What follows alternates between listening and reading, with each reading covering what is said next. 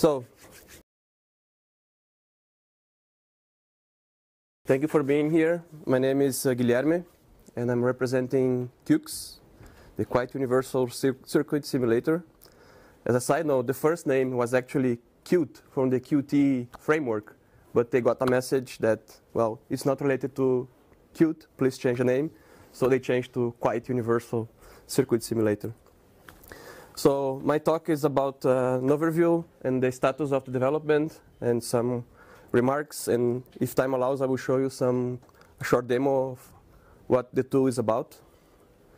So the project started in 2003. It was created in uh, uh, TU Berlin by Michael Margraf and Stefan Jahn. The first one created the user interface. The second one created the, the solver or the, the engine. It was from the beginning uh, GPL 2 plus. To date, it has more than 20 contributors. It's translated into about 20 languages. It's cross-platform. And the user base is, is varied. It's from education, from researchers, uh, hobbyists, and, and even the industry. You have some stats here for the website that was there from uh, 2005, uh, number of downloads. This is from SourceForge, where the code is hosted since the beginning, the binaries and the source, the tarballs. And on the graph below, we have uh, the count for, for Windows binaries that were released like 13 days ago. So we have roughly yeah, 400, 300 downloads weekly for this part with the Windows binary. And uh, I mentioned that uh, the original creators, they are not no longer active on the project. Around 2011, 12, they, they, they dropped the project, so it went orphaned, and, and the community adopted it. So The main features, it's basically a schematic capture, a simulator, and it has data visualization built in. It has an equation system for pre and post processing of the, the signals.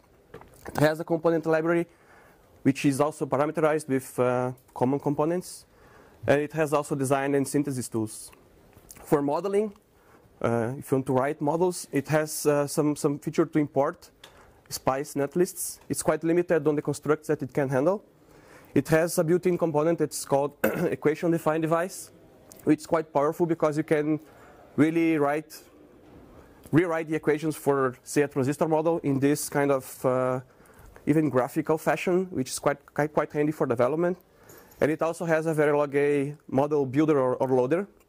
And it has some process, yeah, post-processing capability that you can export data in, in yeah, GnuCap or Python or Octave. And the dependencies that we have, it's uh, C++, Qt 4. We're still struggling to remove Qt 3 from, from the source, but we are working on that. It builds with AutoTools and CMake, and yeah, Jupyter for, for, the, for, for, the, for the simulator, and uh, the parsers are also written in uh, FlexBison. We depend on ADMS for the Verilog A part, and the documentation, most of it is written in LaTeX. Um, there is some experimental work, or I would say external work, that's not in the main line, which is this uh, fork it's called uh, Qucs-S, which is by Vadim uh, Kuznetsov and uh, Mike Brinson, the first one from Russia, the second one from UK, which is a pretty full-featured SPICE front-end based on the Qucs uh, schematic capture. It can work with ngSpice, Xyce, and SPICE Opus. They made up uh, Verilog A generators that work with these equation-defined devices that you can uh, make your device graphically and then generate a Verilog A code. They also made recently some extensions for XSpice, so they can also, in a similar fashion, make C code that can be linked into ngSpice, for instance, and Spice Opus, I guess. Uh, the previous speaker, Felix, mentioned uh, GNU which is one effort that he started to make a replacement engine based on GNUCap for uh, uh, Qucsator, and there is also one effort that we saw this year. Um, this user, uh, he, he, he, has a tool that translates into GSChem, and he managed to, to import the schematics from Qucs to, into a gschem. So that's uh, interesting. So for support for the project, we have the main website. At the moment, we have, I, count six active maintainers or developers. It's me, it's Claudio, that's in Italy, Vadim in Russia, Felix, that's here, that's located in UK now, but uh, from Germany, Andres, that's in, in Spain, and Mike Brinson, that's uh, in UK. We have, uh, I think, it's a quite good documentation, especially the tutorials and the technical manual. Uh, you can find on the website. They are very well written uh, uh, and cover quite a lot of ground. Um, we have, yeah, a traditional, uh, we have uh, uh, most things on, on SourceForge, uh, for example, the binaries. We have the Git repository, but we are gradually phasing it out in favor of, of GitHub. We still have the issue tracker enabled there, and the forum is uh, uh, sometimes active, and the mailing list are also hosted there. On GitHub, most of the work is happening there now, and most of the issues are also there. We ported the wiki from SourceForge when it was disabled into GitHub. And we, from there, we also enable continuous uh, integration with Travis and AppVeyor for Linux, OS X, and, and, and, and Windows. So if you look into the package, what kind of tools do you have there? As graphical in interface, you have Qucs, which is the schematic capture, and then you have design tools or helpers that is for active filter, uh, attenuator, attenuators, passive attenuators, it has a built-in editor that we are phasing out as well. It has a tool for developing passive filters. Uh, there is a small help tool that's being also phased out in favor of uh, uh, read the docs uh, documentation online. There is a matching tool. There is the library. And there is a small resistor to color conversion codes that's uh, useful for students. And there is also a transmission line calculator. In total, we have, now it's less, but it was uh, 170 components. We removed some non-GPL components uh, recently, uh, but it's uh, we are adding new components for RF, so the count is about the same. From the command line, you can access Qucs, which is the interface, the, the, the schematics. You can uh, use the Qucsator, which is a simulator, and QucsConv that converts between formats, also imports the Spice netlist into the Qucsator uh, native uh, netlist. And we also interface to third-party tools like ASCO, which is an optimizer, ADMS XML, which does the uh, Verilog A to code or C++ conversion that we need to, to run the models. We can run from the, the, the schematic um, uh, Verilog FreeHDL that we are working to replace by, by GHDL, hopefully for the next release. And there are some conversion tools for, from PSpice to Spice. And then you can also run, uh, there is a doc where you can run Octave uh, directly from, from the, the, uh, the, user interface. And Python is mostly scripts so for parsing the data. I will show quickly these uh, screenshots, but I also do a demo in the end. So this is the main interface. You have uh, on the left, the, yeah, you can you can have many projects uh, as many projects as one. This uh, reflects your working directory. it's synced with the, the file system. You can have different contents for each project. And then on the right, you can have either circuits or inline visualization, or you can have also separate tabs only for visualization. So you can make quite nice looking documents to document your, your simulations or models. So we have a component tab where you can drop down most of the built-in components. And you have libraries which are uh, either uh, uh, um, spice-based or uh, parameterized uh, parameteriz parameterization of the built-in components. And yeah, as I said, you can have uh, a nice separate documentation or visualization tab for, for documenting, if you like, or simply to look good. A few of the tools, this is uh, merged on the latest release. It's for developing or, or, designing active filters. So you input the parameters, and then it visualizes for you the, the schematic and then on press of calculate and copy to clipboard, you can just paste it into your schematic and, and, and have it running on the simulator. Similarly, you have these passive attenuators. So there is a whole, whole range of uh, topologies that you can, you can uh, input there and get the schematic ready for simulation.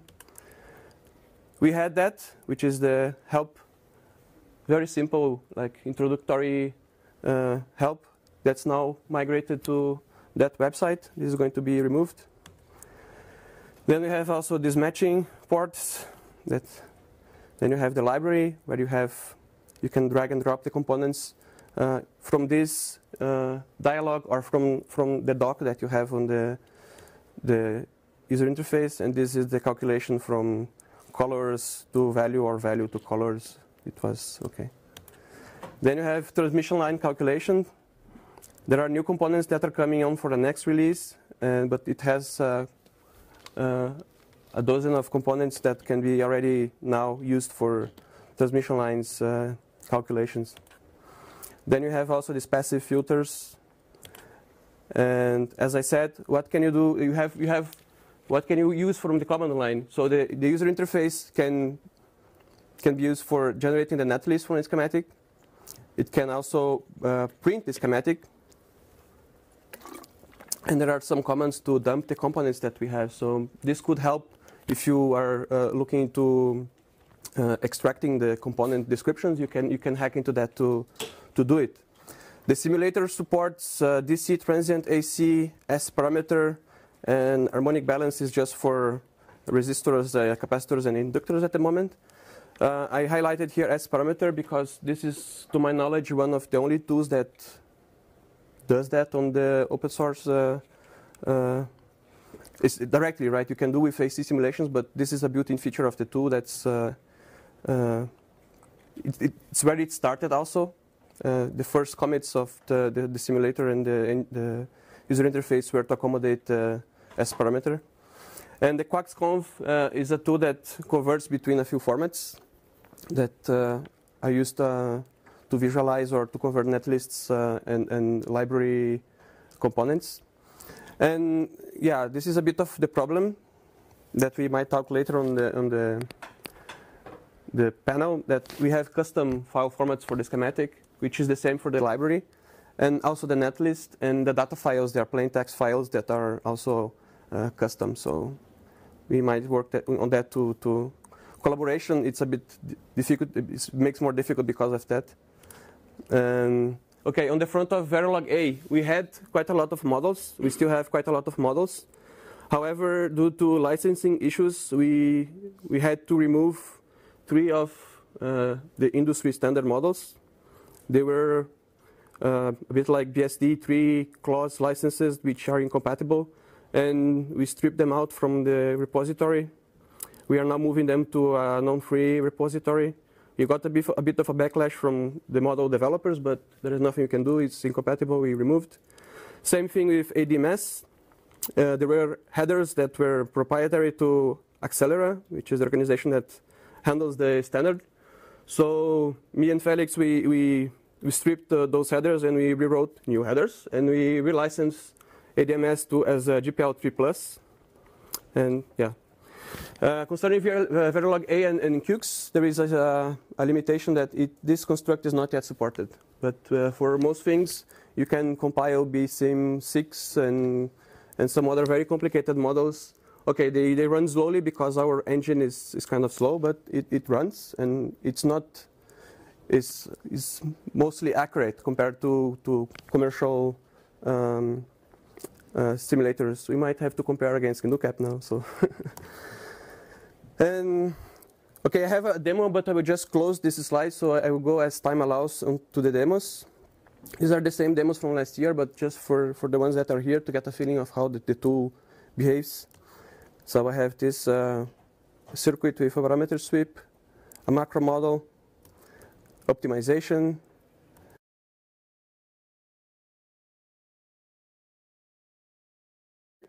That's a kind of thing that would be interesting to see as an output to a layout tool because these microstrips are basically traces on a PCB or another substrate.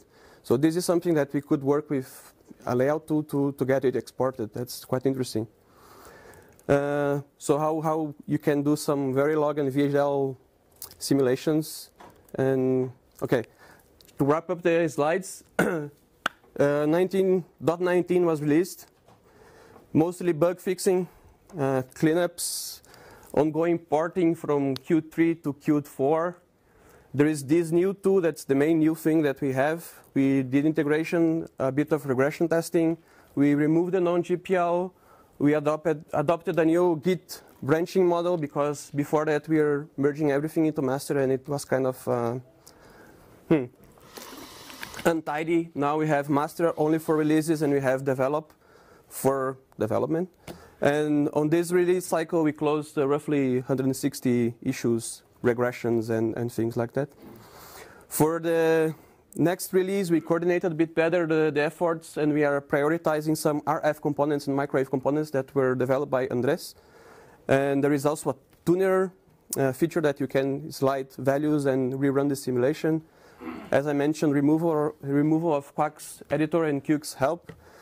We hope for a quick release, but there is also another things that are on the pipeline, like uh, Felix is implementing a, a, a, way of loading similar to GnuCap things into the user interface, uh, which might help us on, on, on the future. And this is the, the status for the development. And okay, I just put it here for the PDF. You have all the links you might want here. Uh, this is also interesting. We are now getting more and more translations on this tra translation platform, which is which is nice, because then helps us on, on localization of the of the tool. And the final remarks: the project as a whole aims to be very user friendly. We have advanced components and modeling features. We are open to collaboration. Uh, we we hope to, yeah, use more the tools that we have available and, and enter into the flow of the working flow of uh, more people and your help is uh, most welcome. I do have uh, a few slide, uh, a few examples I would just show. So as I mentioned, we have this uh, tab here with the projects. Then I have five minutes, right? Just show one example. So ideally, you pick up your components from here. We have a library of components, but this is already configured. So we have on the contents this uh, schematic I will close this now. So, yeah, this is a simple example where you have you can enable and disable parameters like that. So in this this moment, the value of this resistor is being picked up for this, from this equation. These equations can be quite complicated. They are pre-processed and then uh, sent to the simulator, and then you can yeah run this NIC simulation. You get a short transcript of the solver, and then just like that you can toggle that parameter into a parameter sweep and then rerun it. Then you get this visualization online here. Um, I will show you maybe another project. This I will skip. This is the one I mentioned about microstrips. So this is uh, uh, perhaps not the the best frequency. This is for 10 gigahertz, but you can also do microstrips at lower frequencies that can be easily manufactured on PCBs if you if you want.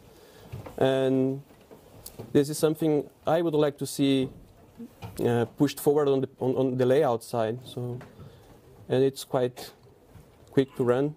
So, this is the SP parameters of this uh, bandpass filter. dark window. Then we have. Uh, yeah, the intention, this is a Verilog, it can also, uh, so in this case we have this uh, Verilog file here, and here you have the description of the Verilog, then it wraps it into a, a, test bench and it ships it to Icarus, and then you can, you can run it. Yeah, it has some warnings because the wrapper is not properly done, but then you have the counter here, it's visualized uh, here. Um.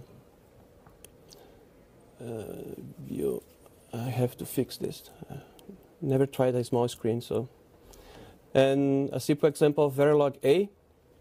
Here we have uh, the equations defining uh, RL uh, a resonating tank. Because we don't have the V assignment, we do a trick here to transform the uh, the the inductor as a, a, a gyrator but that's that's uh, beyond the point. And then you can basically build this model. So it's going to kick in ADMS in the background, generate C code, C++, then run the compiler, and then you can you predefine the symbol for this uh, text. Then you can load it, and you can assign an icon to it, And then you can now open the schematic. Let me full screen this. So here you have the equivalent in, into primitives, and here you have the equivalent from the Verilog A, and then you can just run it. Then it run some warnings, and yeah, it is just the error from the two curves. But this is the, the idea is to have a very streamlined workflow to load components into into the, the, the user interface as well into the simulator. But that could be streamlined further because these manual steps they're not necessary. As um, Felix uh, showed before, we have we can have commands on the, your netlist that uh, make this machinery all into the stimulator itself. So we are uh, working to to either replace that or to streamline this process.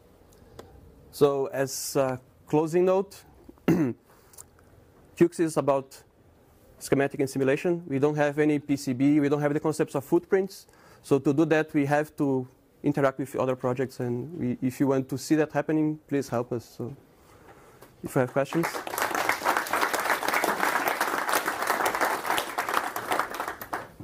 Questions?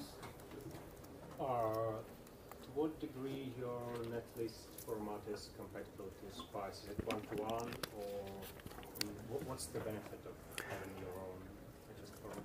So the question is, uh, to what degree our custom netlist is compatible to Spice? Uh, it's not. It's a different format altogether. Uh, worse than that, our components are primitives of our simulator. Our, our components are, or the models are only available at the moment. Some of them are only available into Qucs. So if you want to run that into a Spice-like, you have to first move it, the components to a Spice engine. So it's, it's a dual problem. is not only the, the netlist description, but also the availability of the underlying models that are not there. So, yeah. Can you work with vendor models of OPAMs or something like that? So for the, yeah, the question is if you can op- uh, use uh, vendor models. That depends. If you can import SPICE descriptions, sometimes you can translate into the built-in components of Qucs, then it, it works. But as long as you have more complicated SPICE descriptions like those poly, some poly functions there, we don't have the conversion built in, so that will not work. So for simple models, yes. Yeah.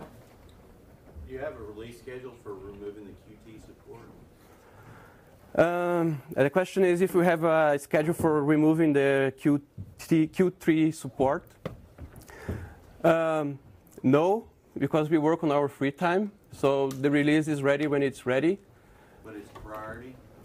Not for the next release. The next release is a short one. It's mostly for merging these RF features that Andres needs for his work. So maybe for the next release, well, we have a, I have an experimental branch where most of these uh, Qt, Q3 uh, things are removed, but they're, they they need work. They need work. They need fine tuning. So maybe one year. yeah. Can you share what those RF and microwave tools are that you plan to add? Uh, can you repeat the question? Um, you discuss those RF and microwave tools that you plan to add in the next release? So the question is, uh, what are the tools for RF and microwave that are going to be introduced on the next release? I don't know them all, but I know that there is um, a tapered uh, waveguide. There is a circular uh, transmission line, uh, um, cylindrical transmission line. There are mostly new components. There are no new tools, so to say, but there are new components that are going to be integrated. Going from the from the sort of stripline uh, models you were looking at with in saying PCB export would be useful, how much would it take to get from where you are now to having a, a sort of transient signal integrity simulation? So the question is about the microstrips. What would take it to, to make a transient signal integrity simulation like?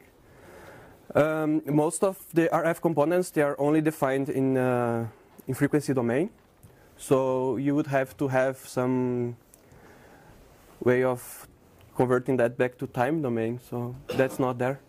Okay, so if you want, if you extracted some layout from the board, you could do at least a, an RF simulation. So the question if you extract parameters from the board, if you do a S parameter extraction, you could do signal integrity analysis, for instance. You could do, if you want to analyze, uh, eval- evaluate the signal integrity at the pins of your chip, and you did the extraction of that, you get uh, a parameter or a, yeah, then you, you can do signal integrity on that. I saw uh, people from industry doing that, just that. Uh, one remark, yeah, we had a request to increase the number of ports on, on, on, on the SP files that we could handle just to, to run this kind of simulation on, on these uh, multi-pin chips that, uh, that are out there. As a student, my main question is um, why would I invest time in learning QUCS instead of uh, spending time on just standard SPICE? What, what does QUCS offer me that SPICE will not? So the question is uh, why invest time in QUCS instead of using a SPICE?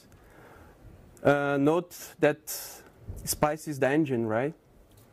So we have there is a divide between the schematic entry and the engine, right? So yeah, if you want to really that's also a problem for me. I don't want to be, I mean, this black hole where you, you dump your schematics, your knowledge, your IP, and you cannot get out anywhere, sorry. So at the moment we are working together to, to have this in, in, to be able to port one schematic to one, one project or another as it should be, right? But what can I say? If you, if you need the tools that we have, maybe other tools don't have it. Like the modeling capabilities that we have, we, for research, it's interesting. So as a hobbyist that you need to get uh, the models from the internet, might, maybe not is not the best use case, but yeah. We're run out of time, but I, I think this will be a subject of Mm. discussion in the discussion session after the next talk. So let's Okay. thank Guillermo again. Thank you.